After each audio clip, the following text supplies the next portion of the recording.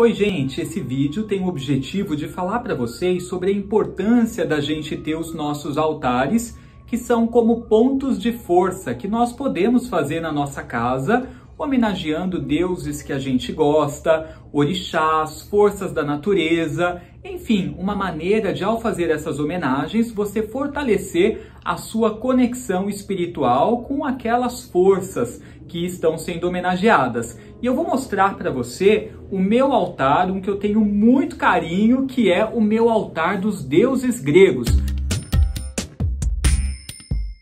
Vocês sabem que eu sigo uma tradição de bruxaria que é a Wicca Eleusiana, inclusive está aparecendo aí o site para vocês poderem conhecer um pouco mais sobre como funciona essa tradição que honra as divindades gregas, principalmente no dia a dia, como sendo faces da grande deusa e do grande deus, ou seja, manifestações do sagrado feminino e masculino.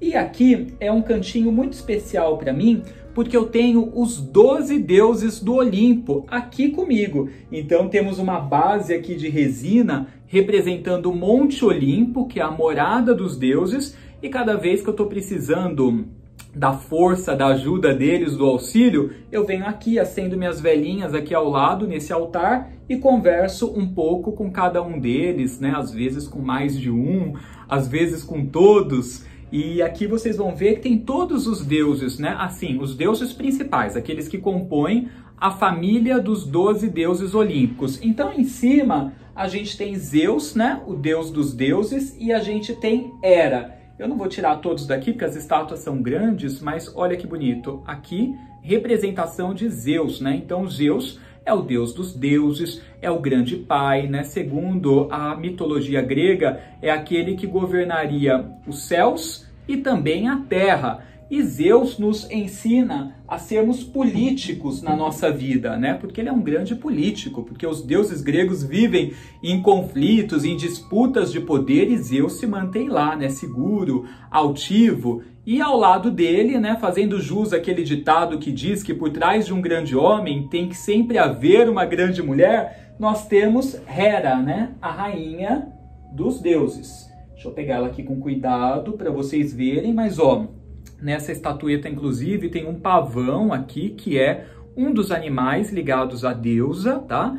E ela representa o sagrado feminino, ela é a grande matriarca, a protetora dos bons costumes, dos valores, das tradições, uma deusa ligada também às garoas, né, às finas garoas, é uma deusa de fertilidade também, líder, né, que representa o poder feminino e a proteção de algo que é muito importante para ela, que é o matrimônio. Então, Hera é uma deusa ligada às alianças, casamentos. Inclusive você que está desejando aí, né, achar o príncipe encantado, alguém para casar, recorra a Hera, que é a deusa que nos apoia. Aí nós temos aqui do ladinho também Hermes, que é o mensageiro dos deuses, né? Então é aquele que perambula por todos os mundos, levando mensagens, né? De Zeus e dos outros deuses entre eles. Então, Hermes está na terra, Hermes está no céu, Hermes está nas águas, Hermes está no mundo dos mortos, está em todos os lugares, né? É o deus mensageiro.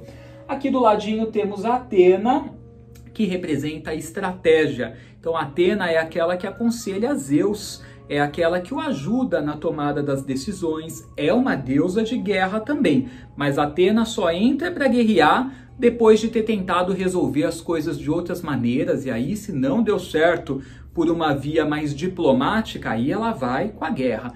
Então, quando a gente precisa até de sabedoria para uma tomada de decisão ou se sair bem nos estudos, podemos recorrer a Atena.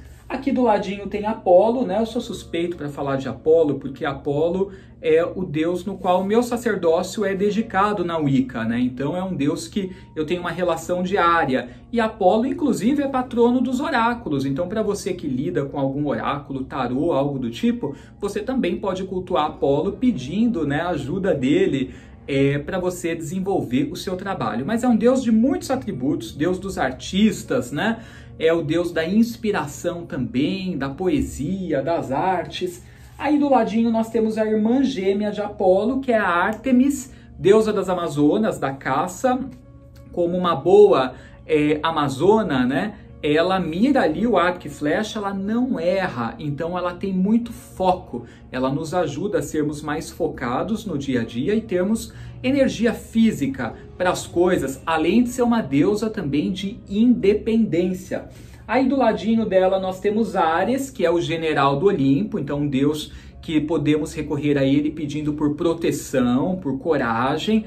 É um guerreiro também, mas diferente de Atena, que usa a guerra só como última ferramenta, Ares usa como a primeira. O negócio dele é guerrear, é a carnificina, tá? Não confundam Ares com Hades. Aliás, o deus do mundo dos mortos, Hades, nem está aqui, porque algumas versões não consideram como um dos doze deuses do Olimpo, pelo fato dele viver no submundo, né? Ser o deus do mundo dos mortos. Então, tem gente que considera ele entre os doze, alguns não consideram. Aqui ele nem está. Mas temos Afrodite, deusa do amor, da beleza, né? Essa tenho certeza que muitos de vocês já conhecem, né? Afinal, é, além de ser uma deusa muito popular, e já era, viu, na, na Grécia Antiga, antigamente Afrodite já era extremamente popular. Então é uma deusa muito cultuada por todos, inclusive pelas minorias também, por aqueles que eram marginalizados, como trans também na época, né? Homens e mulheres trans também é, honravam, veneravam Afrodite e ela abençoa a todos e todas as formas de amor, afinal todas são divinas, não é? E do ladinho de Afrodite, o consorte dela, né? Hefesto, que é o deus da metalurgia, do fogo também, fazia aquelas coisas maravilhosas para os deuses, desde armas é, tronos maravilhosos, cheios de pedrarias e presentes incríveis também, inclusive para a própria Afrodite. Então, Hefesto é o deus do fogo, da metalurgia, do trabalho, da invenção e da tecnologia. Do ladinho Dionísio, porque prazer é sempre bem-vindo, né? Dionísio é o deus do vinho, da loucura, da sexualidade, do êxtase, mas também representa o renascimento, porque na mitologia dele, ele é aquele que nasceu duas vezes. Depois busquem o mito de Dionísio. Então, quando você está precisando ali de força para você renascer, recorra a ele, tá? Aí nós temos aqui Poseidon ou Netuno, o deus dos mares, né? Poseidon é sempre honrado cada vez que a gente vai ali fazer um passeio também de lancha, barca, navio, é, a gente pode pedir a Poseidon para nos proteger, para que a gente seja bem sucedido, esteja seguro quando estivermos ali trilhando né, pelo ambiente marítimo. Também é um deus de fertilidade. Podemos pedir por apoio também para que a gente consiga controlar melhor as nossas emoções, tá? porque é o deus das águas, as águas estão intimamente ligadas com a emoção e também quando a gente está precisando de limpeza emocional, pôr para fora aquilo que está nos fazendo mal.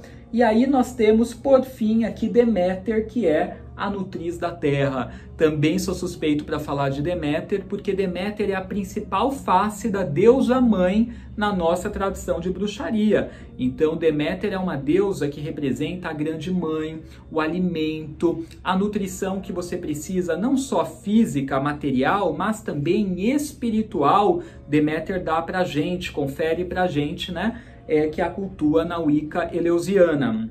E aí, gente, para nós faz todo sentido cultuar uma deusa tão material como Deméter, do alimento, da fartura, da prosperidade, da nutrição, porque estamos encarnados né, aqui na Terra, que é um, um plano físico onde a gente precisa do básico para sobreviver, não é? Alimentação, por exemplo. E Deméter ela representa esse básico e nos mostra o quanto tudo isso, o alimento, a comida, o quanto isso é sagrado. Então é a deusa dos cereais, né? A deusa de tudo que brota na terra.